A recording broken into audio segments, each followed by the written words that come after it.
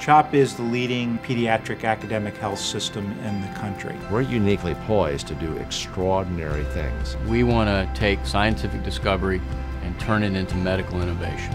It's not a matter of if this is going to occur. It's just a matter of when. Not all kids with autism are, are interchangeable. They're all unique.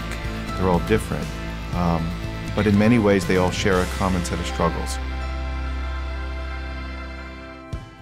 It's only through studying the, the, the kind of the causes of, of these problems will we begin to be able to develop effective treatments.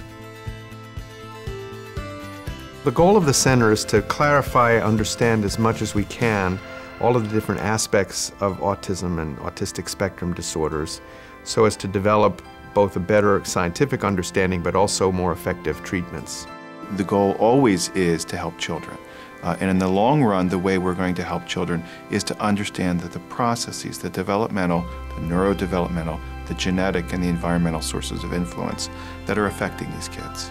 We are bringing um, different fields together. We have geneticists, neurobiologists, clinicians, epidemiologists. Because now we have the ability then for clinicians to help the scientists come up with the right questions and the scientists to help us understand the mechanisms, if you will. Great things happen when people from di different disciplines come together to address a problem. They spark each other's enthusiasm, they force each other to think outside the box, to think in different ways. We have experts in a variety of different areas, probably more expertise in certain areas than any other center in the world. The genetic component is clearly very, very complex. So it, it constitutes multiple genes that have, have to interact together and very likely interact with the environment in order to express the autism phenotype. So the genetics part is only one component of this, but it really integrates with, with almost all of the other components.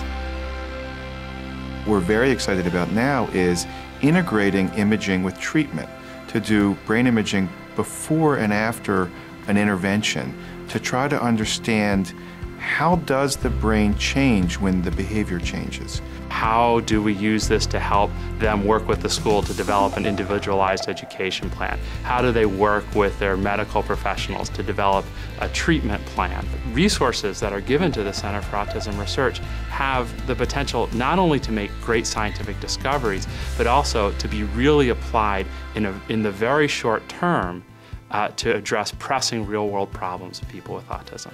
We need the support of, of everyone. We need uh, of the federal government when we write our grants, of foundations, but also individual donors.